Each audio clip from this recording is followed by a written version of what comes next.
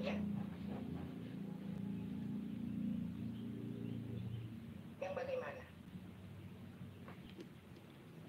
yang yang tidak kotor eh, terus tidak ada eh, ukurannya masih standar tidak terlalu lonjong Standarnya bagaimana? Apakah anda akan kalau misalkan ini anda mau sampaikan untuk informasikan ke masyarakat, apakah anda bilang oh pilih yang telurnya standar? Nah, Atau apa kata itu?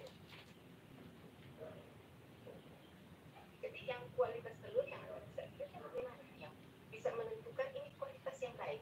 Kalau anda eh, membeli telur di pasaran.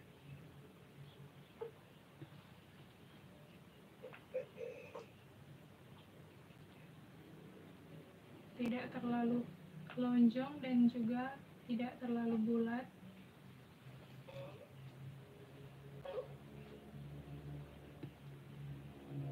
kalau secara kesegarannya, oh ini telurnya masih segar, berarti masih memiliki kualitas yang bagus. Kalau bisa lihat dari mana? eh, dari kuning telur Apalagi mau, tahu definisi masih segar. Ini kan Anda mau meneliti dengan kualitas internalnya. Apalagi mau lihat isinya masih segar. Nah, ini men- menunjukkan ah ini kualitas ini telur masih segar. Nah, mau lihat kualitasnya bagaimana?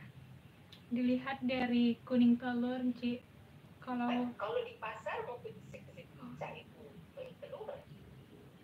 Ini kan dalam bentuk telur utuh. Bagaimana Anda yang akan melihat?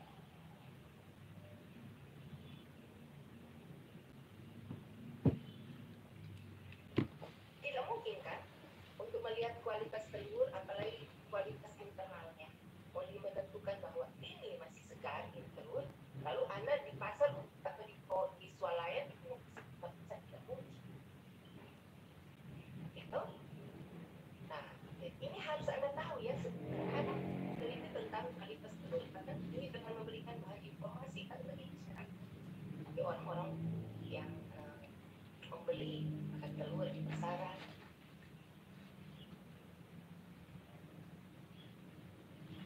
Mungkin ada ya? Yang Anda ketahui bagaimana caranya?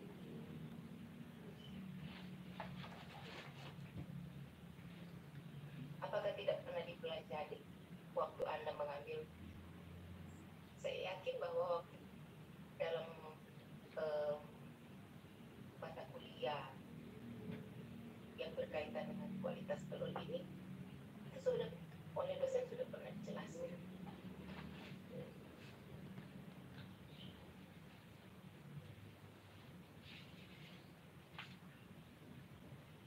Oke oke kalau eh, anda itu nanti anda acak-acak aja itu bagaimana anda nanti menentukan meletakkan ini ini kasih kepada si Linda.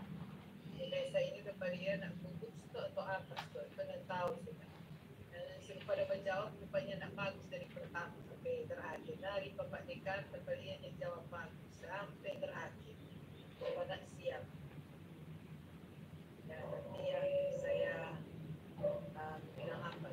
Selanjutnya saya persilakan kepada si Bamsiati dia. Terima kasih untuk moderator.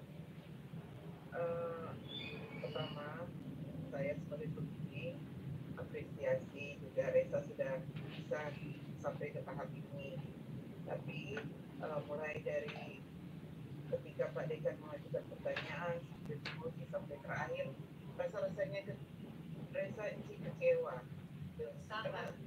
sudah begitu banyak hal-hal yang mulai dari ini berulang-ulang terus bahkan uh, ditentir sedemikian rupa dan Reza catat semua apa pertanyaan